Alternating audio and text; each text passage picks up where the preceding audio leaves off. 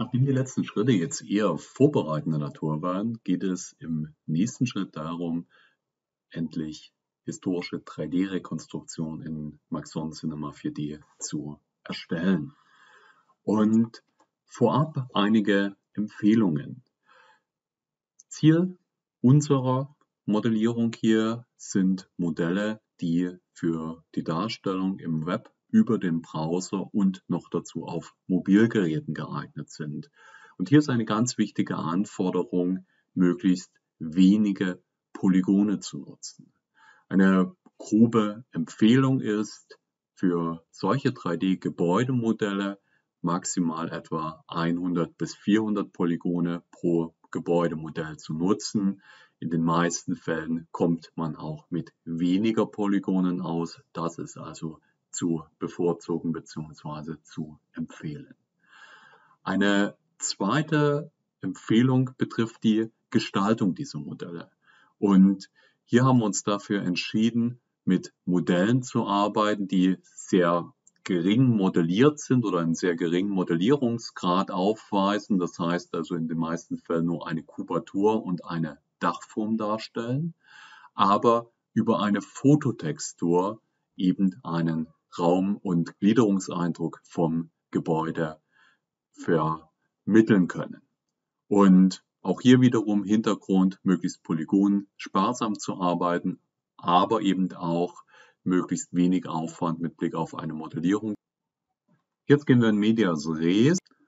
Ich habe also wieder mein Programm Cinema 4D mit der soeben erstellten Datei geöffnet und eine Sache, die wir hier schon sehen, ist, dass es im Normalfall hier größere Abweichungen gibt. Wir schauen zum Beispiel mal bei der Kirche hier hinein, also sozusagen selbst diese Zeichnung der Kirche entstammt also oder stimmt recht wenig mit dieser jetztzeitigen, mit diesem jetztzeitigen Polygonumriss zusammen äh, überein. Und das ist eine Sache, die Ihnen also in der Arbeit mit historischen Materialien, mit historischen Karten immer wieder begegnen wird.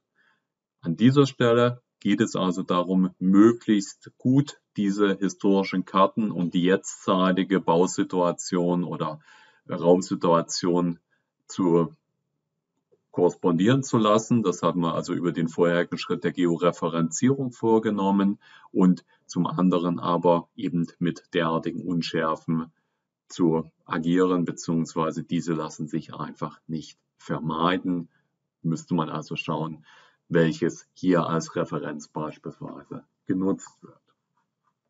Ich zoome wieder etwas raus aus meiner Szene und würde jetzt also mal zum Eichplatz, das ist hier dieser Platz in der Mitte gehen und das Gebäude, was ich mit Ihnen gemeinsam gern digitalisieren möchte, ist dieses hier in der Mitte. Im ersten Schritt geht es jetzt darum, hier Grundrissinformationen mit einem Vektorzug oder in einem Vektorzug zu hinterlegen oder einen Vektorzug dieser Grundrissinformationen anzulegen. Das tue ich über dieses Werkzeug hier oben, den sogenannten Spline-Stift. Ein Spline, also eine Pfadlinie, die im 3D-Programm grundsätzlich nicht sichtbar ist, aber als Hilfslinie für eine spätere Modellierung dient. Ich klicke einmal hier drauf und nun geht es darum, möglichst gut passend hier Eckpunkte dieses Gebäudes im Plan auszuwählen.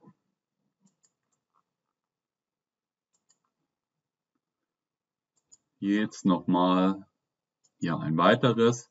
Und wenn ich jetzt auf den ursprünglichen Punkt zurückklicke, dann sehen Sie, dass sich der Mauscursor etwas verändert. Dann ist dieser Pfad also hergestellt, ist geschlossen. Ich schaue mir mal die Linien hier an. So sieht das Ganze also jetzt aus.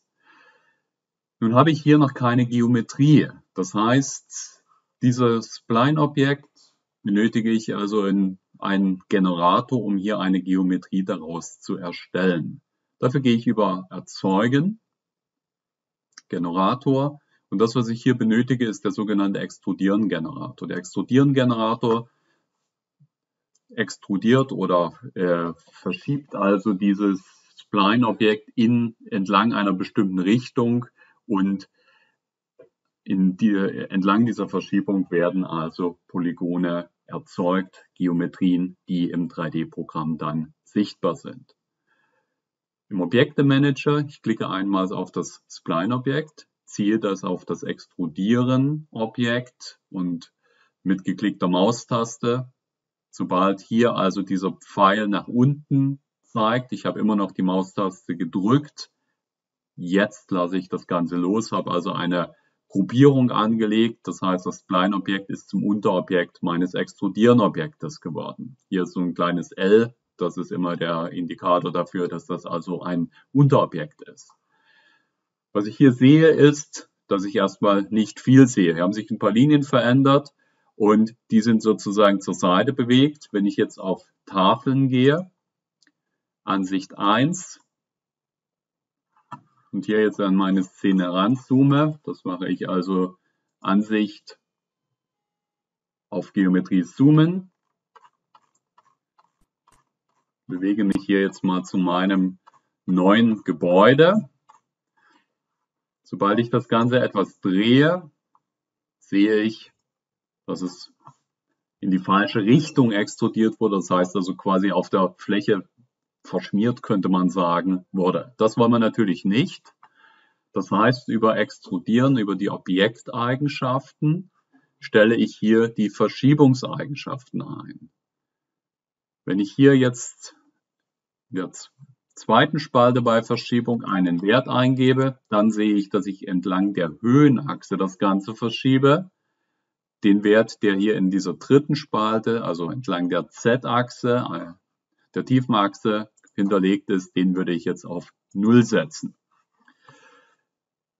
Sie haben sicherlich schon eins festgestellt jetzt gerade, und zwar, dass ich diesen Wert der Höhe natürlich benötige, also eine Angabe, wie hoch mein Gebäude sein muss. Und das ist etwas, was ich nicht aus diesem Plan entnehmen kann. Hier kommen wir in die Problematik hinein, dass im Idealfall mit Aufrissplänen gearbeitet wird, die also Höheninformationen zeigen.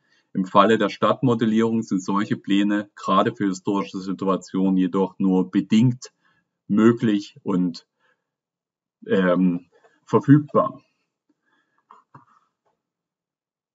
Was ich habe, ist allerdings ein Bestand von historischen Bildern, Fotografien. Und hier kommen wir in die Problematik, dass wir eigentlich solche, solche Höheninformationen eben anhand dieser Fotografien nur schätzen können. Ich mache mal hier ein Bild dieses Gebäudes auf. Sie sehen es also hier, das ist das historische Gebäude. Und in den meisten Fällen operiere ich an dieser Stelle mit Einheitsgrößen. Das heißt also, würde hier für eine Stockwerkhöhe beispielsweise für alle Stockwerke etwa drei Meter ansetzen und würde dieses also sozusagen auch für andere Gebäude einsetzen und anhand der Dachformen allerdings dann eben schauen, ob die Größen, ob Gebäude höher oder niedriger sind. Also wenn wir hier drei Meter jeweils für, Stock, jedes vier Stockwerke ansetzen, hätten wir hier etwa drei Meter, sechs Meter 9 Meter. Ebenfalls Problem ist natürlich hier eine Dachhöhe zu schätzen. Die Dachhöhe hier würde ich ansetzen mit einer Höhe von etwa knapp zwei Stockwerken. Das heißt, wir würden 9 Meter für diese Sachen plus 5 Meter vielleicht für eine Dachhöhe hier angeben. Und ich wechsle zurück in mein Programm Cinema 4D. Wenn ich jetzt also auf das Extrudieren gehe, wäre die Höhe an dieser Stelle 9 Meter plus etwa 5 Meter. Das heißt, wir hätten also 14 Meter bzw. 1400 Zentimeter. Eine Sache, die ich noch mit vornehmen würde, wäre eine Unterteilung. Und zwar, ich brauche hier eine Unterteilung zwischen dem Dach und der ähm, ja, Fassadenfläche. Das heißt, die Unterteilung würde hier nicht nur eins sein, sondern zwei. Es würden sich also zwei Flächen daraus ergeben. Im nächsten Schritt geht es darum, jetzt hier das daraus zu arbeiten. Und dafür kann ich jetzt nicht weiter mit dem Extrudieren arbeiten, sondern hierfür müsste ich also dieses Objekt konvertieren in ein sogenanntes Polygonobjekt, bei dem ich jetzt auf einzelne Punkte oder Polygone zurückgreifen kann. Das mache ich hier auf der linken Seite entweder über die Taste C oder über diese Schaltfläche Grundobjekt konvertieren. Ich habe drauf geklickt und Sie sehen schon, hier haben sich sozusagen, ich bin hier noch im, im Punkte bearbeiten Modus. Den würde ich auch mal aktiv lassen für diese nächsten Schritte. Es haben sich hier jetzt schon Änderungen ergeben. Was ich jetzt benötige, ist hier eigentlich erstmal diese Punkte zu verschieben. Die sind jetzt, wenn ich hier auf das Verschieben-Werkzeug gehe und das mal anschaue, die sind jetzt auf einer Höhe von 700 Zentimetern und ich möchte diese gerne aber bei 9 Metern haben. Ich wechsle dafür in die Ansicht von der Seite von rechts und zoome ein bisschen an mein Objekt heran über Selektieren. Die Loop-Selektion kann ich jetzt also diesen gesamten Pfad hier auswählen. Ich habe hier also drauf geklickt, da erscheint so eine weiße Hinterlegung, dann klicke ich, bestätige ich das Ganze, indem ich loslasse. Das, was ich tue, ist hier unten im Koordinatenmanager statt 700 900 einzugeben und das Ganze anzuwenden. Das hier unten, der untere Bereich ist also unsere Fassade, der obere Bereich wird unser Dach. Wenn ich jetzt zurückwechsle in die 3D-Ansicht, sehe ich allerdings, dass das Dach noch die gleiche Form hat wie die Fassade. Ich schaue mir das mal ein bisschen von oben an. Und das, was jetzt hier als nächstes passieren würde, wäre, dass ich hier dieses Dach als Dach ausmodelliere. Ich gehe auf das Verschieben-Werkzeug und klicke diesen Punkt und den gegenüberliegenden Punkt an. Hier unten im Koordinatenmanager würde ich jetzt hier 0 und 0 angeben. Das heißt also, diese Punkte sind an der gleichen Stelle. Wofür ist das wichtig? Ich schaue nochmal das Bild mir an. Was wir hier haben, ist sozusagen so ein, eine Dachform, die hier jeweils geschrägt, äh, angeschrägt ist und wo also auf dem, im Fürstbereich hier beide Dachflächen zusammenkommen gehe wieder zurück zu meinem Modell. Ähnlich würde ich das für diese Punkte, und zwar, das ist einer der Punkte und das ist der zweite Punkt machen. Mit gedrückter Umschalttaste habe ich diese beiden Punkte ausgewählt. Mit Klick jeweils würde Abmessung 0 und 0 setzen. Und das gleiche auch nochmal hier. Abmessung 0 und 0. Und auch hier, ich klicke einen Punkt, Umschalttaste gedrückt halten, zweiten Punkt geklickt, auch hier die Abmessung 0 und 0. Ein Schritt, den wir jetzt nicht sehen, das ist der, dass wir hier zwischen diesen Punkten, die jetzt auf die, gleiche, äh, die gleichen Koordinaten gesetzt sind, natürlich Flächen hatten. Und die können uns im weiteren Prozess jetzt stören, Deswegen machen wir folgendes unter Selektieren, alles selektieren, Mesh, entfernen, optimieren. Klicken wir einmal drauf. Sehen wir, dass es hier also schon eine neue Fläche gibt. Die sollte natürlich nicht sein. Ich gehe auf den Polygon bearbeiten Modus und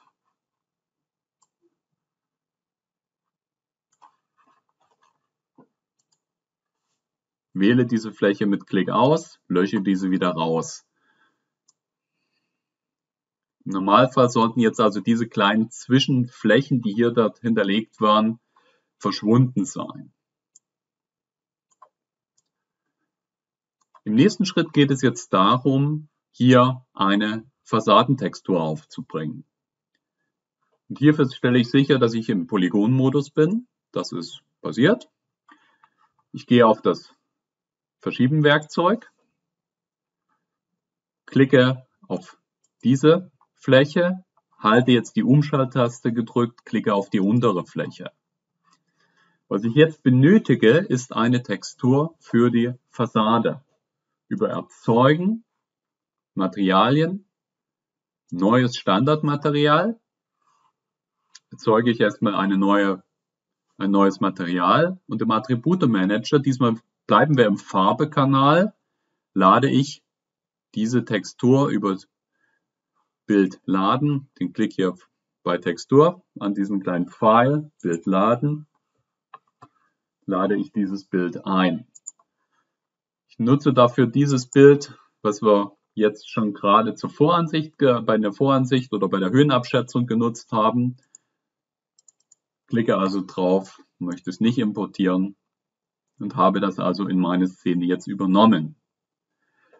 Was ich jetzt tue, ist dieses Bild im Material oder dieses Material im Materialmanager anzuwählen, geklickt zu halten und auf diese selektierten Flächen zu ziehen.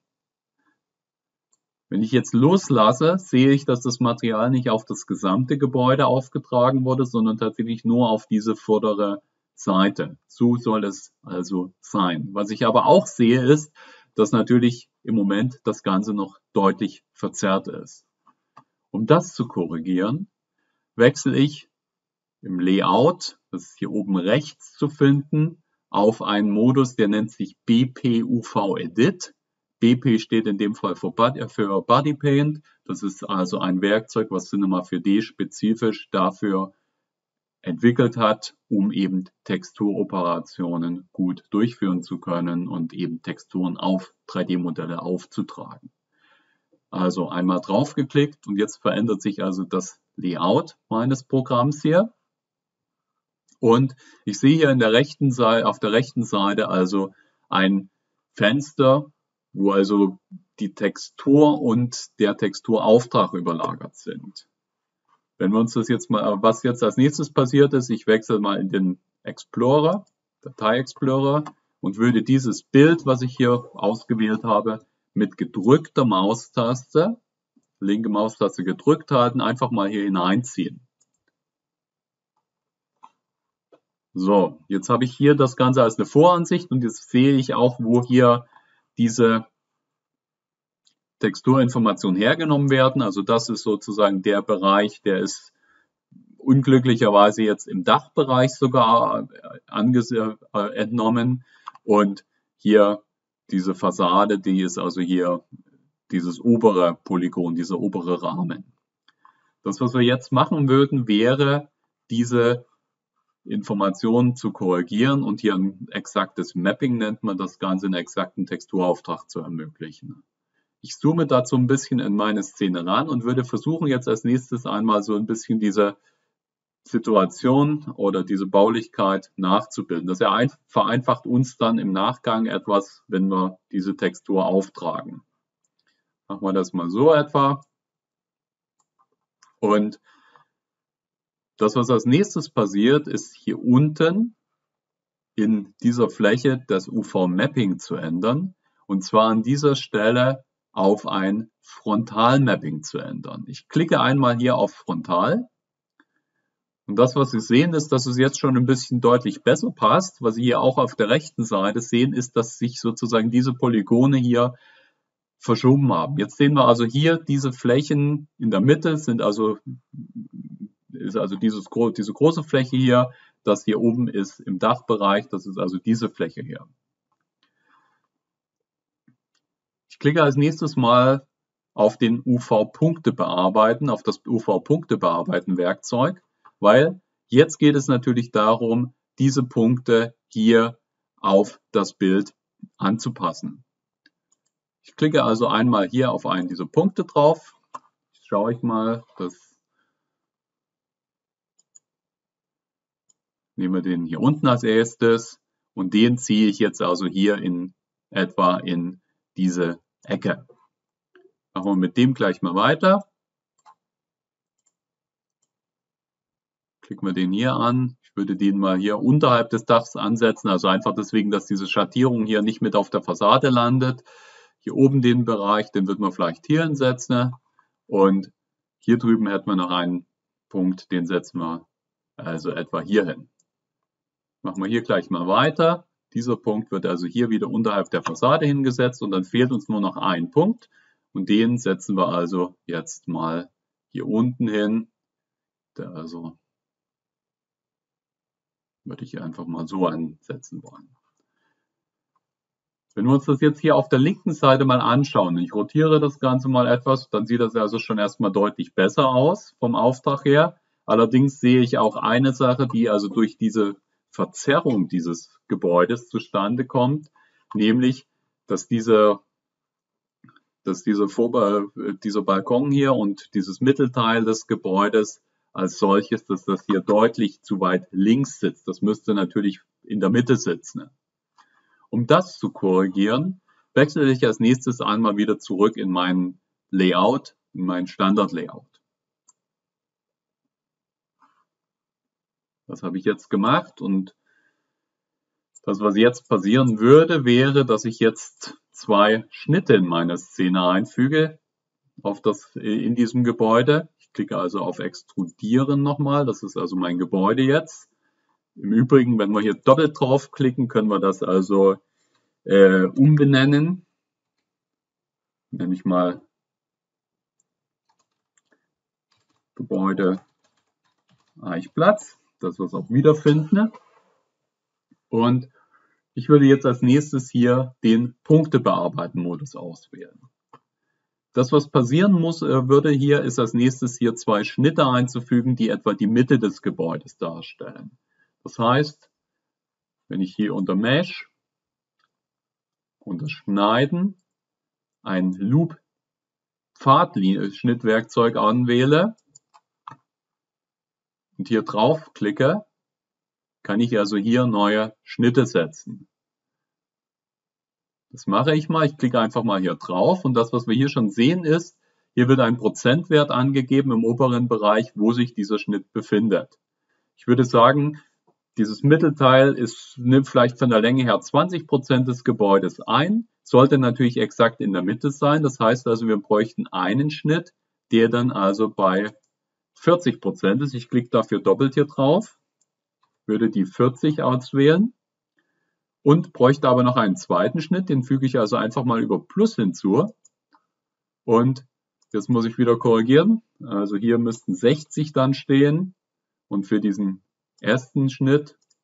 Ich klicke den mal an, Doppelklick unten auf den Wert, gebe ich also 40 an. Das wäre also jetzt in etwa dort, wo das Mittelstück sitzen sollte.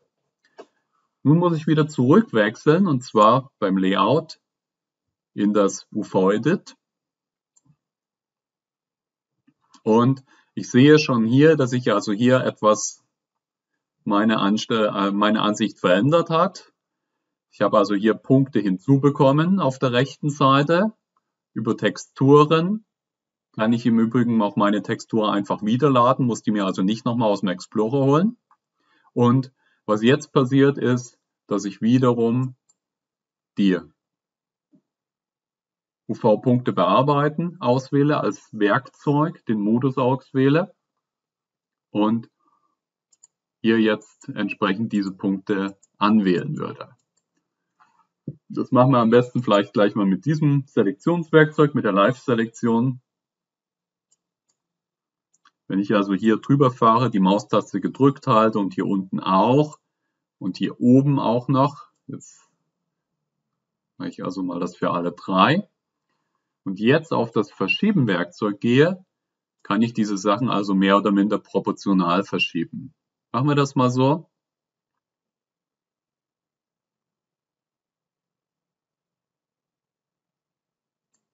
Und das, was jetzt passieren muss, ich sehe, dass es hier unten sich etwas verzerrt hat alles. Das würde ich also noch ein bisschen korrigieren, den Punkt nochmal einzeln auswählen. Ja, ich nehme wieder das Live-Selektionswerkzeug, wechsle auf, das Verschie auf den Verschieben-Modus oder auf das Verschieben-Werkzeug und würde das also wieder in eine halbwegs gerade Linie zueinander bringen. Und das gleiche jetzt auf der rechten Seite. Live-Selektion anwählen. Gedrückte Maustaste, alle drei ausgewählt. Das Verschieben-Werkzeug wieder. Und Wir verschieben dieses also auch in etwa so, dass es jetzt auf diesem kleinen Risaliten, diesem weißen Objekt hier in der Mitte ist und über das Verschieben-Werkzeug, über das, die Live-Selektion wähle ich nochmal den Punkt unten aus. Jetzt wechsle ins Verschieben-Werkzeug und bringe auch diese Sachen nochmal in eine halbwegs gerade Linie zueinander. Schauen wir uns das Objekt jetzt mal an. Das sieht schon deutlich besser aus. Ein bisschen, einige Verzerrung sieht man jetzt noch im rechten Bereich und im linken Bereich. Jetzt könnte man hier natürlich noch ein bisschen Kosmetik anbringen und hier weitere Schnitte hinzufügen und die eben auch entsprechend aufteilen, einteilen. Grundsätzlich wären wir allerdings jetzt mit unserem 3D-Modell erstmal so weit, dass wir hier ein Modell vorliegen haben und dass wir dieses Modell texturiert haben.